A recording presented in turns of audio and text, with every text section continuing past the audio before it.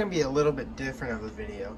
Today we're going to do a tutorial on how to set up a preset for the disaster area DMC Gen 5. I don't know the full name, but it's this, this one. So we have everything set out per song. So like song one is God of the Promise by Elevation and our reverb here. And so God of the Promise, then we're doing Tremble, then we're doing Good Grace, then this was our God You're So Good tag, but we don't have a patch, so we just use the Good Grace shimmer and then a shimmer verb.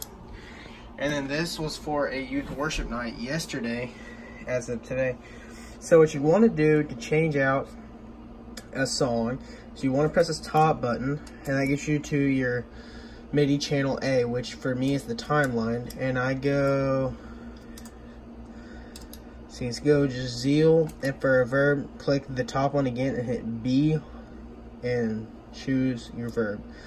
So for this one, I feel like it needs a,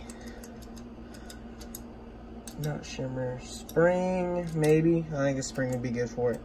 Then you keep going, cycling through until you get back to the P0 number. Then you hold it until it starts to flash like that, and you hold it again until it says save then you move it. And then, so there you have good grace, and now you have zeal. That's it, pretty much, for setting up um, programs. I didn't know how to do this, and there wasn't a good video on YouTube how to do it. And I really hope this helped you guys out. Thanks for watching.